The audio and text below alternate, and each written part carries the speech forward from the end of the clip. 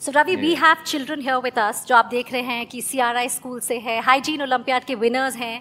Tell us the impact like जिन बच्चों ने इन्होंने हाइजीन करिकुलम पढ़ा है how has the Banega Swasth India campaign help in the various aspects of health and hygiene क्योंकि हम उसी की बात बारे में आज बातचीत कर रहे हैं।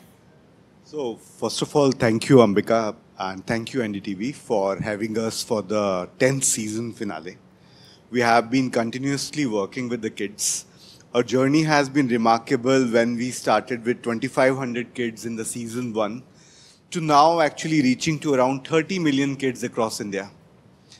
By large, this is one of the biggest programs, not just on health, it's the biggest program on One Health, where there is an integration of the human health, animal health, plant health, and we also, you know, we have been evolving from year to year to year, and we saw like uh, we created an index, which is the climate index, which we did for the northeastern India along with the NDTV and Ernst Young. We saw there's a huge, huge potential and need to bring change among the kids, and which is being supported by the Prime Minister's one of the flagship programs, Mission Life, also. जी So we thought, like, why not to work with the kids and make them the change agents? Because they are first-hand experiencing what's happening to the environment and climate around them. We also inculcating something, uh, you know, Ambika, which is basically self-care. Yes. Self-care for the, for the kids. So that they go back and they educate other kids and they educate themselves. So the whole curriculum is in place.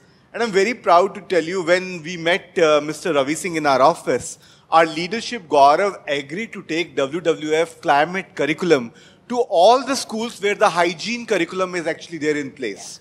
So that's a point of interaction and intersection what we want, uh, you know, in the future.